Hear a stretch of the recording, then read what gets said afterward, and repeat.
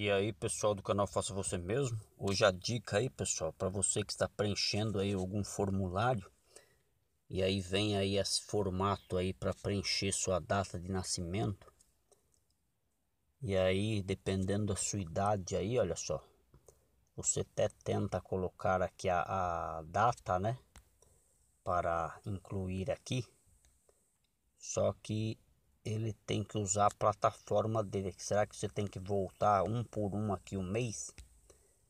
Então a dica minha aqui é a seguinte, pessoal, para facilitar para você aí, ó. Você vai clicar aqui no ano, olha só. Onde tá o ano aqui em cima? Ó. E aqui, ó, depois que você clicou no ano, você consegue escolher o ano aqui. No meu caso aqui é 1979. Vou colocar aqui, ó. E agora, pessoal, bem mais fácil aqui, basta você escolher o mês aqui, pessoal, ó.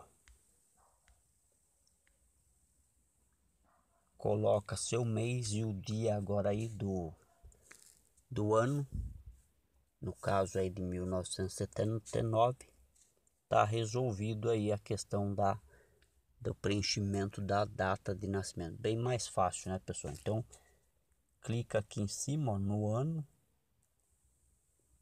Ó. E ele vai permitir que você Beleza? Se gostou aí da dica aí, pessoal, se inscreve no canal, deixa o seu like aí, compartilha e até o próximo vídeo. Tchau, tchau.